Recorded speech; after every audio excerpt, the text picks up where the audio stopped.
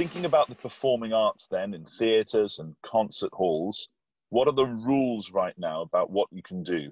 It's still the same rules that were implemented on June 15th. And it's rules that allowed us to perform concerts already in front of an audience of approximately 450 people.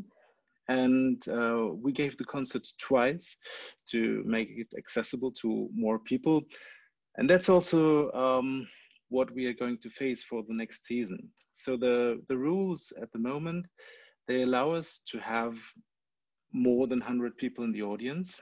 Every hall or every venue or every promoter has to set up a, a concept um, guaranteeing um, that we uh, respect all the rules about distancing and hygiene.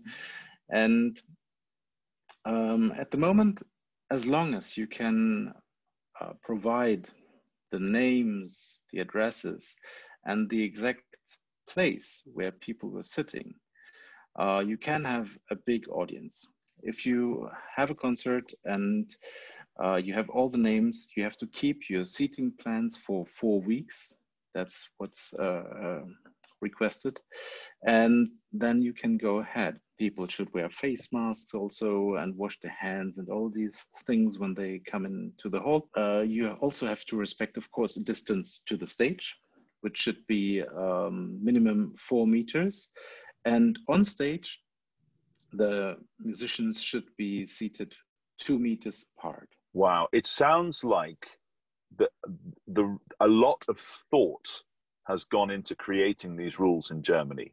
Is that because the federal government and the states governments think it's really important to get performances back up and running?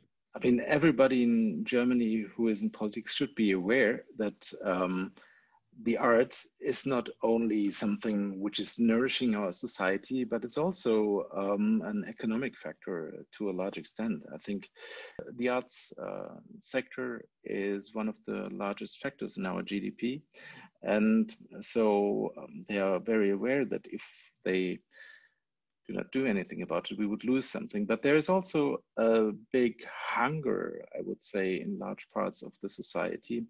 Um, and we could all feel it. I mean, maybe Andy remembers the concerts in Cologne, which were really an emotional uh, moment and uh, lacking the possibility to to live arts um, gave to everybody a sense of how important it really is to to live, uh, to lead a good life in a in a society. How long do you think the these extraordinary circumstances will last? Do you think it will be until there is a vaccine? Um, that's what many people say, and there's uh, certainly some truth about it. Um, I personally hope that we will be able to get back to normal earlier.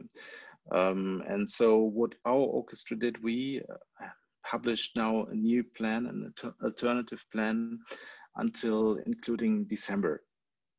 And um, we've all seen that uh, things developed in different ways than we expected, um, more quickly than we ever thought.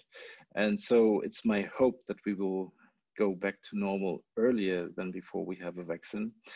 Um, because actually, if you look at it closely, how long did we really remain silent? I mean, the lockdown was mid of March, and end of April, we already gave our first concert under new conditions again.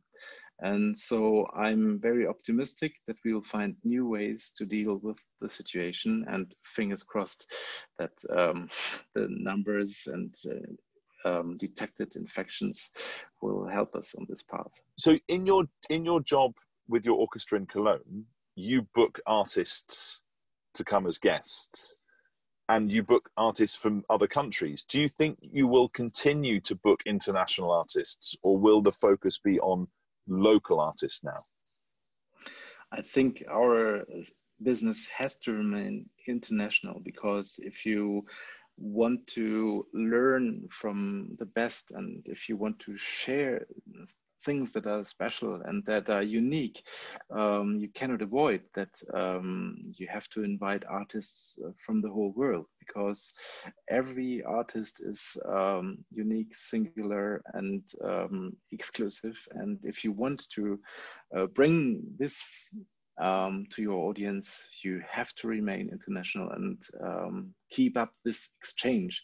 Uh, even if you look back to the 19th century, it's it's amazing how far people like Liszt or Paganini traveled, and um, even under the conditions they had at that time. But still, I think um, there will be um, another consciousness about um, regional products, about um, local identities. And I think that's also something good and something precious, which this crisis uh, may show us. Um, because I think in our industry, there was also a lot of things happening um, which were not questioned. And I think um, now it will be a different question. Um, you ask yourself, do I have to go to Asia with my orchestra to present a tour? Why do I want to, do it? Which risks um, do I want to take to bring my orchestra somewhere else? And so I think it's really important that we keep this international perspective and this international exchange. But I think there will uh, be a change um, in consciousness also for which is the tour or which is the the concert you really want to bring somewhere else because it's you and nobody else can provide it. Patrick Hahn, thank you so much for your time. I really appreciate it. Thank you, Sam Evans, and thank you, Andy, and good luck for your campaign.